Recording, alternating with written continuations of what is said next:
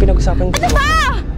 Bakit bang hirap ipaintindi sa'yo na ginawa ko nga lang yun dahil sa trabaho? Bakit pa nagpipilitan mo yung sarili mo kay Gaga? Anong pake mo? Ako ang kalab team niya, respeto naman oh.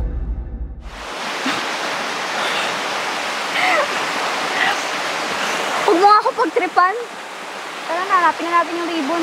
Totoo yung lahat ng sinabi ko.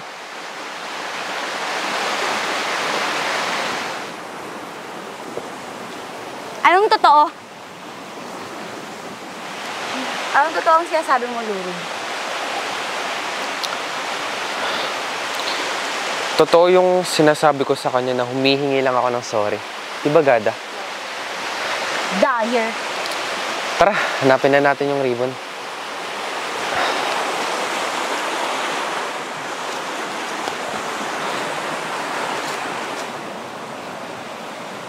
Tara na, hanapin na natin yung ribbon. Tara.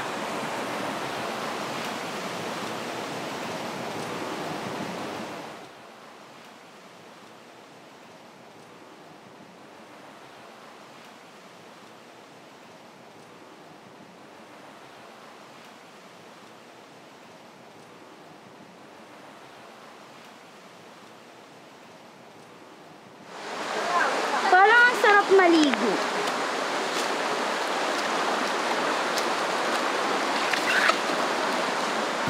Ano yan?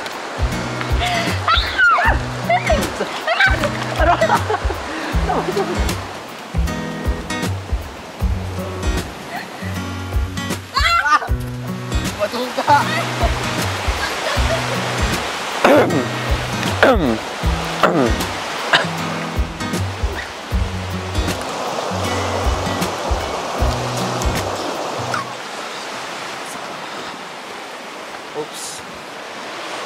Sorry, kalab team ko siya ngayon eh. Shoo.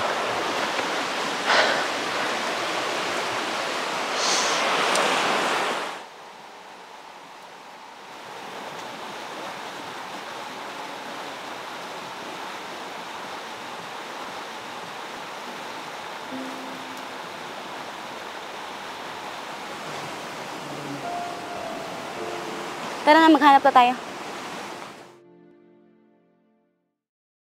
At yun guys, dito na po namin nakuha ang lahat ng ribbon. At ah, kung sino po ang mananalo sa challenge na ito, ay i-announce si Miss Karen. Ang unang love team na nakakompleto ng Finding Ribbon Challenge ay ang Chris Rook! Alam mo na ako nayambag. Sakit kasi ng tuhod. Yan, so maraming maraming salamat po sa panonood. At dito, po, dito na po nagtatapos ang aming video. Don't forget to subscribe, like, share, and hit the notification bell para update kayo sa aming mga susunod na videos. Bye-bye!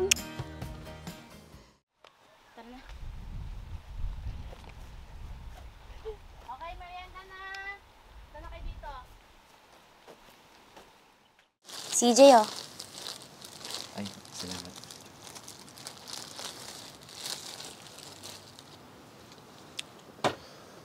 CR lang ako.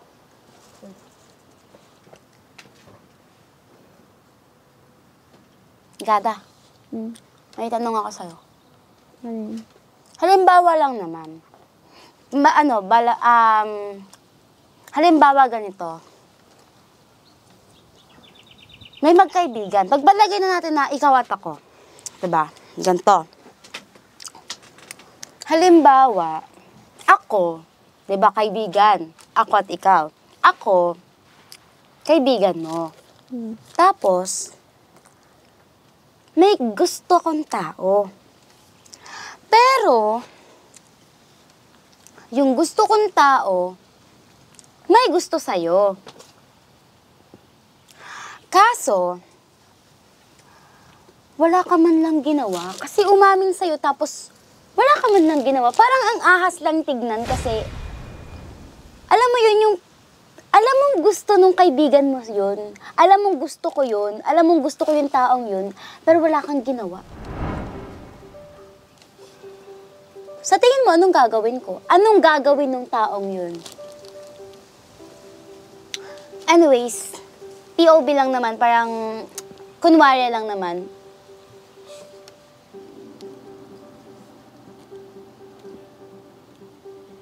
Katin, pwede ba kita makausap?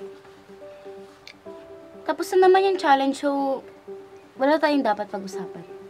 Saglit lang naman eh. Sige.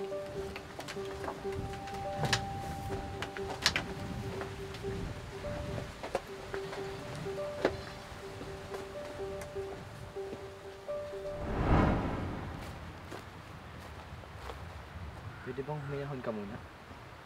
Alam ko naman ang gusto mong iparating kanina. Hinahon? Hindi mo kasi ako naiintindihan. Kasi ako, akala ko lahat ng pinapakita sa akin ni Lurog totoo. Tapos Hindi pala. Wala namang kasalanan si Gada dito ah. Walang kasalanan. Kaya pala. Kaya pala hindi niya sa akin sinabi na umamin sa kanya si Lurog noon. Hindi kasalanan yon? Wala siyang kasalanan? Sabihin mo, sabihin niya, gusto niya rin kasi gusto niyang pinag-aagawan siya ng ibang lalaki. Kaibigan mo si Gada. Alam mo naman na hindi niya yung magagawa, di ba? Hindi ba talaga?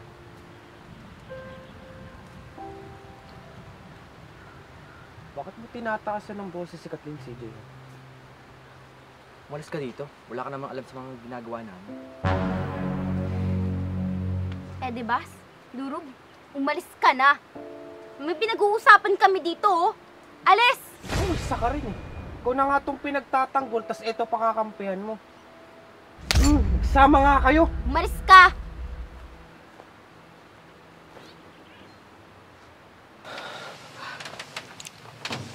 Alam mo yung pinag-uusapan ng dalawa?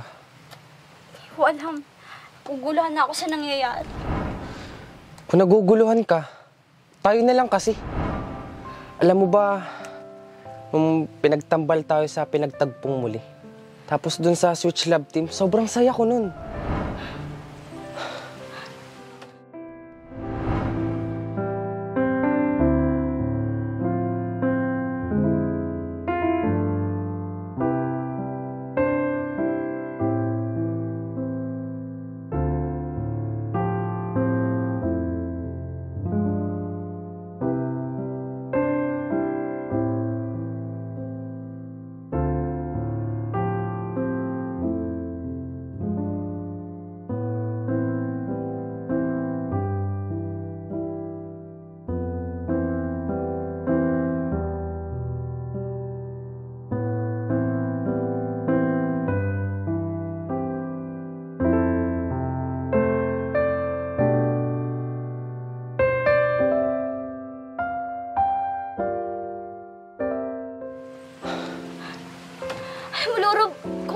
Kung prank to, itigan na natin to. Hindi na ako natutuwa.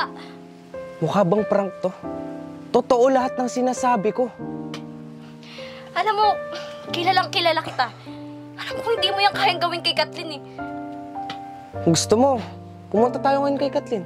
Sabihin natin na ikaw yung gusto kong kalab team. Alam mo, Lurog, hindi kita gusto. Ano ba kasing meron dyan kay CJ na wala sa akin? Eh, puro pakuyot lang naman yan ah. Sinasabi mo. Alam mo, kahit anong sabihin ko sa'yo, bakit ayaw mong maniwala?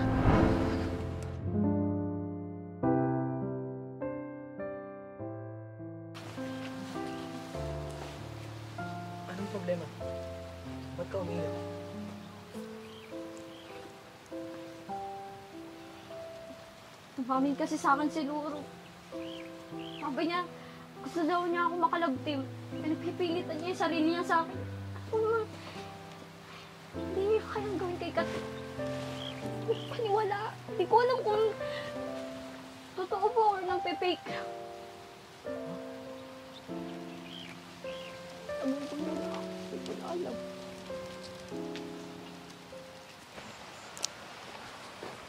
Anong pinag-usapan ko? Kala mo hindi ko alam? Lurog, alam ko na totoo. Alam ko na yung lahat. Bakit hindi nyo sinabi sa akin?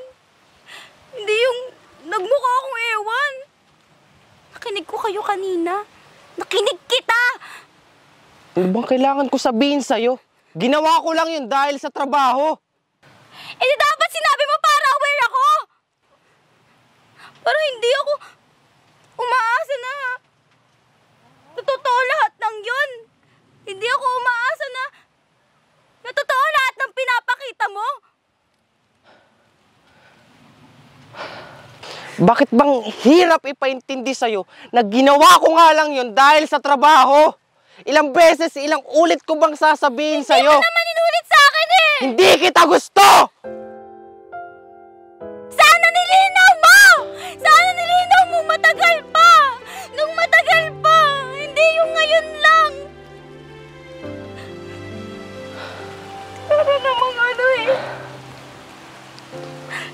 Umasa kasi ako! Hoy, bakit pa nagpipilitan mo yung sarili mo kay Gada? Anong pake mo? Ako ang kalab team niya, respeto naman oh. Doon ka nga. Gusto ka nga. Ang tanong, gusto ka ba? Ha? Ako ang nauna ha? Anong problema mo? sa atin, sinong unang pumasok sa Gratiensa? Ako, di ba? Ha? Basta ka ba? Ano ba? Ganda! Mas ka! Sa trabaho to yun. Wala na tayo sa trabaho. Gusto ka? Bakit gusto ka ba ha? Tanong ha? Angas mo naman. Tandaan mo, bago ka lang dito. Ano naman kung bago ako ha? Ay, akong, akong ginawang kalab team ha? Ano yan? Ano yan? Ano yan? Ano yan?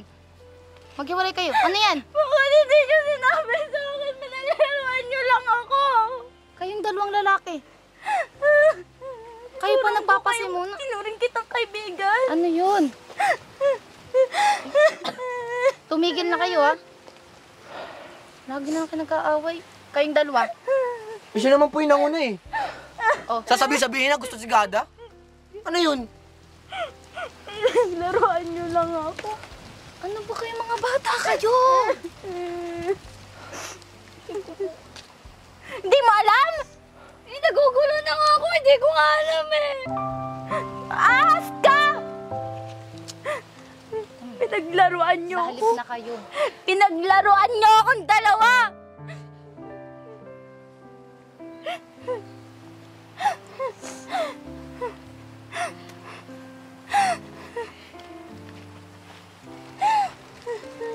Ano, okay ka lang?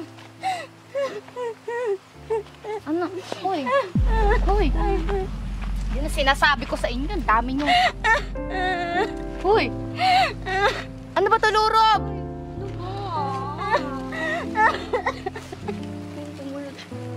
O ano,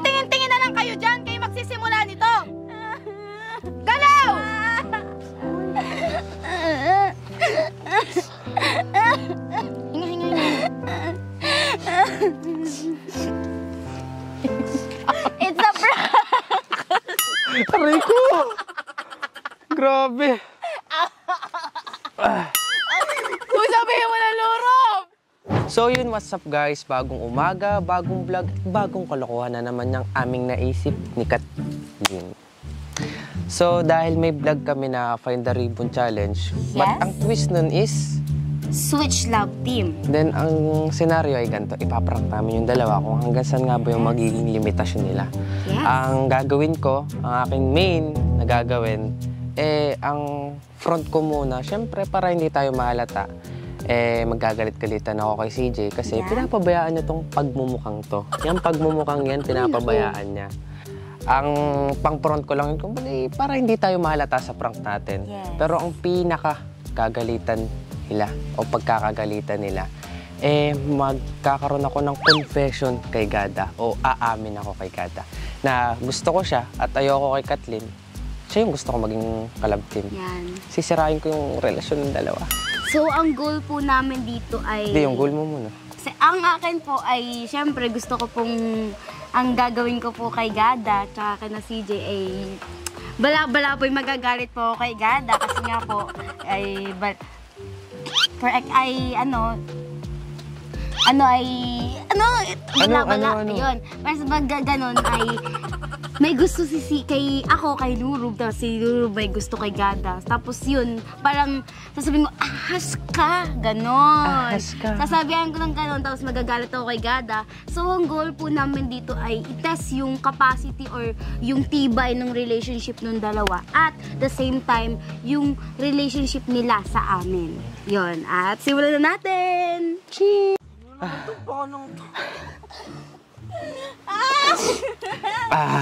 Yan naman tayo sa prank. Luro, be, si G, ilang beses ka nang pinaparak, hindi ka pa rin nadadala. Mukha ba ako makikias? Ano ko tuloy talaga may matingas. hindi, hindi tumama yung isa. Tawid ako. Ay, isa, Take two, take two! Take two! Yeah! Oh, so ganon. Ah, so ganon. Totoo ganon. So ganon, Kami lang huwag ka talaga na. wala ang pinaprank eh. May prank bang alam nyo? Ha?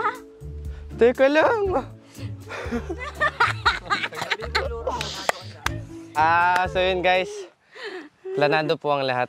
Kung inakala nyo po na totoo pong ako nagkagusto kay Gaday, nangaahas po ako, ay hindi po. Sorry na. Sorry na po eh. Sorry na. Ano ba? Ano ba? Kwento naman ngayon. Paalam na kayo. So, ayan. ah, successful po ang prank. At dito na po nagtatapos Tapos ang aming video. Don't forget to subscribe, like, share, and hit the notification bell para update kayo sa aming mga bagong video. Ah, bye, GV! Bye-bye. Babawi ako.